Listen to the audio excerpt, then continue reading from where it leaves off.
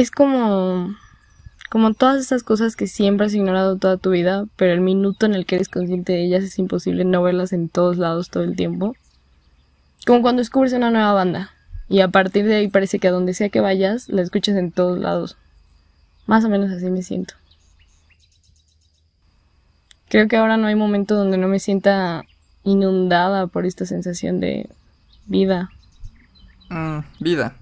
Bueno, de naturaleza, es que ¿por qué siempre decimos naturaleza como si esa palabra no nos incluyera a nosotros?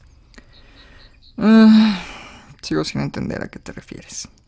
Me refiero a que creo que finalmente estoy entendiendo esta relación de la que siempre había escuchado, pero nunca he entendido realmente entre nuestra existencia como seres humanos y esta otra forma de vida.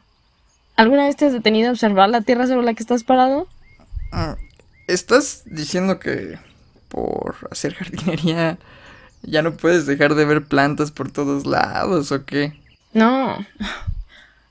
Existe todo este mundo, toda esta realidad de la que formas parte, pero de la que no tienes ni idea la mitad del tiempo.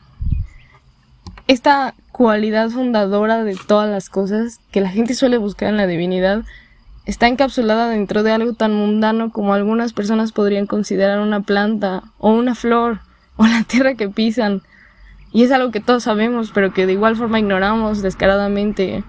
O no sé qué sea peor, descubrirlo e ignorarlo o no descubrirlo en ningún momento.